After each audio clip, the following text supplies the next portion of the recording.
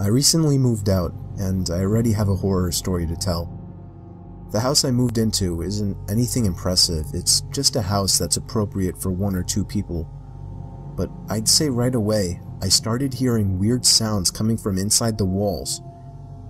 I first heard it in the kitchen, and then in the bathroom, but on night three, I started hearing it in my bedroom. I was sure there was some kind of animal living in my walls, I just had to figure out how to get rid of it. The next morning, I didn't even have enough milk to fill the bowl of cereal. I couldn't believe I hadn't realized I needed more milk. In fact, I seemed to be eating up all of my food pretty fast. I woke up in the middle of that night to the sound of breathing. Not my breathing. It, it sounded just like the breathing of a person. I flipped the lamp on and it stopped. I chalked it up as my mind playing tricks on me after waking up. The next day was really hot, so I turned on the AC for the first time.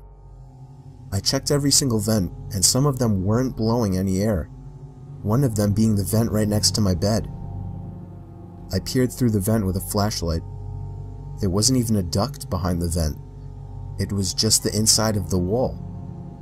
It seemed that whatever air duct was in there had been removed, Unfortunately, I didn't look into the air conditioning system while buying the house, so I didn't know about this.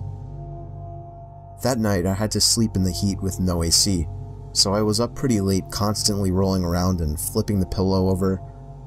Then I eventually started to hear the breathing again, but this time I was fully awake. I knew it was real this time. It was coming to my left.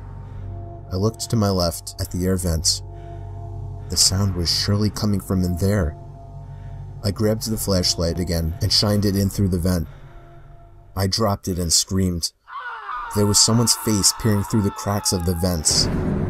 The first thing I saw were their eyes, open wide and glowing. I screamed all the way down and out the house. I soon found out there was a crazy, dangerous homeless man living in my walls, and he had been eating my food ever since I moved in.